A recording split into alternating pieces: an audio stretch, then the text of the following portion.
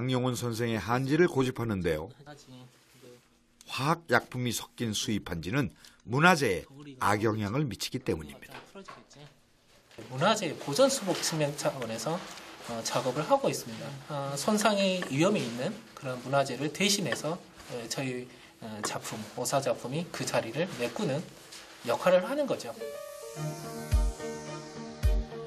2년 전 통도사 벽화의 모사 작업도 장영훈 선생의 한지가 있었기에 가능했다고 하는데요. 일단 저는 제일 좋은 게요. 믿고 안심하고 쓸 수 있다는 겁니다. 이미 과학적으로 검증돼 있고 또 사용해 본 결과 직접 체험해 본, 해본 결과 그렇기 때문에 그, 그 장영훈 선생님 한지를 제가 찾아서 쓰는 거죠. 문화재 모사 작업에서 한지의 장점은 먼저 이음새를 꼽을 수 있는데요. 한지와 한지를 하나로 연결함에 있어 두께를 일정하게 하며 경계를 자연스럽게 해줍니다. 물칼질을 사용하는 것은 이러한 그 섬유들을 살리기 위해서죠. 그래서 부드럽게 그 한 장으로 이어서 붙일 수 있게끔 하기 위해서 그러는 거죠. 밀가루를 10년 정도 삭혀 만든 풀을 단면에서 살려낸 섬유의 결에 바른 후 겹치지 않게 연결을 하면 하나의 종이로 완성이 됩니다.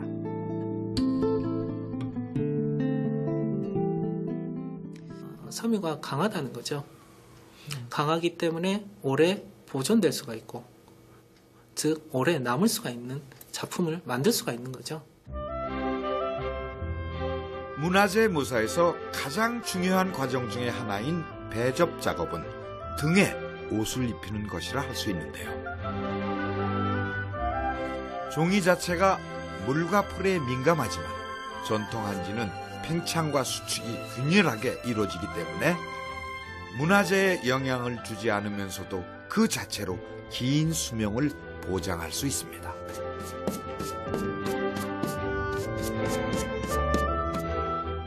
결국은 이 전통만한 게 없더라고요. 써보니까.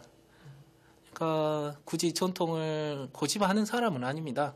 그러니까 좀 더 나은 기술, 좀 더 나은 재료, 도구들이 있다면은 그걸 얼마든지 어, 수용하겠지만 아직 그 전통을 따라갈 만한 게 없더라 이 말이죠.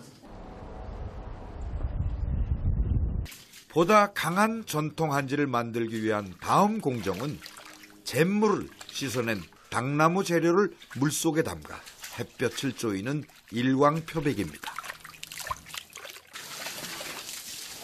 장영훈 선생은 지하수를 이용해 사시사철 찬 온도를 유지하는데요. 보셨을 때 이랬, 이랬잖아요. 수일간의 시간을 보내면 당나무 껍질은 보다 하얀 색을 띱니다. 그런 원리하고 똑같은 거예요. 근데 옛날 되게 예쁘죠? 이런 거. 하얗게. 어, 아이들 이제 이게 시쳐놓으면은 이 반질반질 하듯이 이 당나무 껍질도 이렇게 햇빛을 받아, 받아가지고 이렇게 보면은요, 이 번질번질하게 되게 예뻐 보여요. 물로 시작해 물에서 끝나는 작업. 하얀 백지의 한지와 달리 장인의 손은 상처가 나도 쉬 아물지 못합니다. 벌써 스무 해 넘게 아버지를 도와 한지를 만들고 있는 성우 씨. 예? 저 물, 물. 물이요? 예. 하지만 장영훈 선생은 작업 현장을 오고 가며 일일이 잔소리를 합니다. 예, 거기 딱에. 예, 어떤 때는 막 잠이 안 오신다고 새벽 4시에 나오시는 때도 있고 막 그러거든요. 뒤에 조금 약간 한 발끔 물러 쓰셔서 그냥 지켜보시면서 잘못된 거는 잘못됐다 얘기를 하시고 그다음에 또 잘한 건 잘했다 말씀을 하셨으면 좋겠습니다.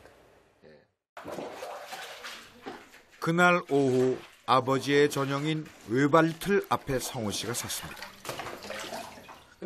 장용훈 선생은 아들이자 이수자인 성훈 씨에게 전통 기법인 외발뜨기를 전수하고 있는데요.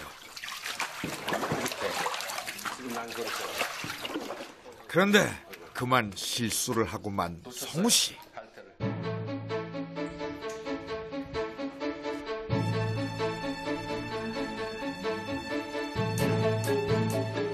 아니 털어물고 해야지. 네? 저, 그냥 저거 따와.